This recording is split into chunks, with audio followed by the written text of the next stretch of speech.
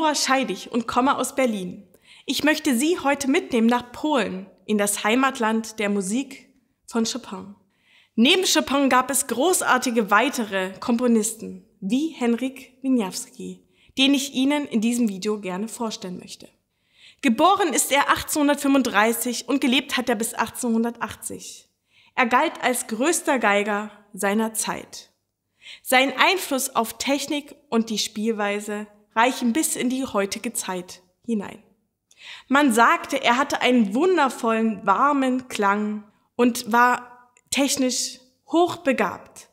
Aber auch seine Risikobereitschaft und die Fähigkeit, die Zuhörer mitzureißen, zeichnen ihn aus.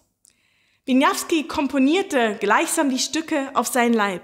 Das heißt, er schrieb nur Stücke für Geige und komponierte das, was er gut konnte und ließ das natürlich weg, was er nicht so gut konnte. Unter den 50 Werken, die er schrieb, sind auch zwei Salonmasurken. Das polnische Lied möchte ich Ihnen heute in diesem Video vorstellen. Herausgegeben wurden sie von PMW Edition in dem Album The Most Beautiful.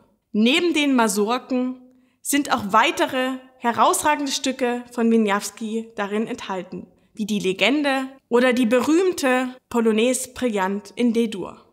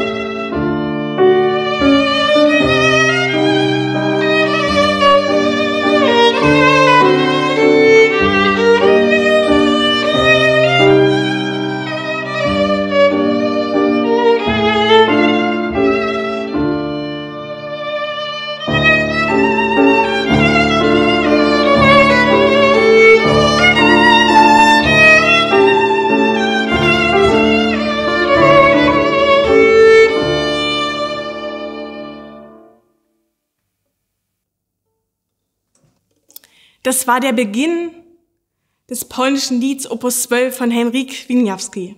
Es ist eine lyrische Masurka. Eine Masurka ist ein polnischer Tanz, der steht im Dreivierteltakt und zeichnet sich aus, dass die erste Zählzeit unterteilt ist. Wie auch hier die erste Zählzeit durch die Punktierung unterteilt ist. Also bam, badam, bam, blam, badam. Ein weiteres Merkmal ist die typische Walzerbegleitung im Klavier.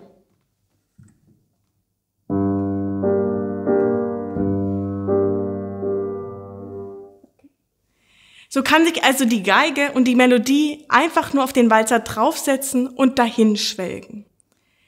Ansonsten haben wir hier eine traditionell tenäre Liedform. Das bedeutet, dass wir einen Anfangsteil haben, einen Mittelteil und einen Schlussteil. Beide Anfang- und Schlussteile sind fast identisch und sehr traurig in G-Moll. Der Mittelteil ist sehr kontrastvoll dagegen, sehr lebendig in G-Dur. Da der Mittelteil technisch anspruchsvoll ist, möchte ich zuerst auf diesen eingehen.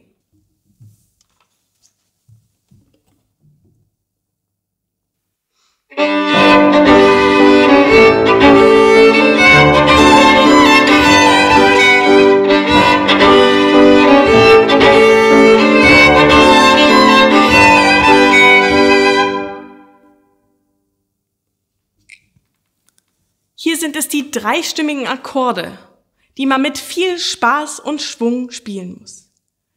Zum Üben ähm, schlage ich vor, die Melodie erstmal herauszuarbeiten, damit man nicht denkt, oh, dreistimmige Akkorde, sondern klar weiß, wohin geht eigentlich die Linie.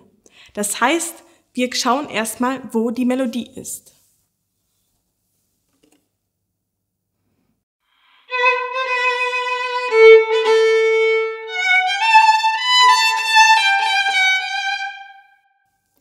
Die Melodie liegt also meistens auf der oberen Stimme der dreistimmigen Akkorde.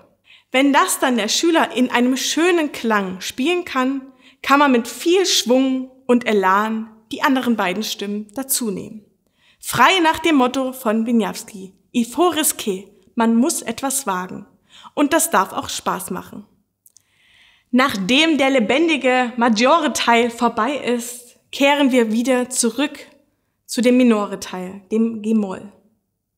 Er ist sehr sentimental und es kehren die Melodien oft wieder. Deshalb ist es sehr wichtig, eine klare Vorstellung zu haben, um nicht immer wieder dasselbe zu erzählen.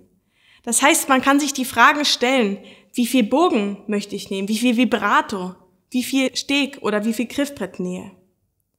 Zum Abschluss möchten wir noch ein paar Varianten vorstellen.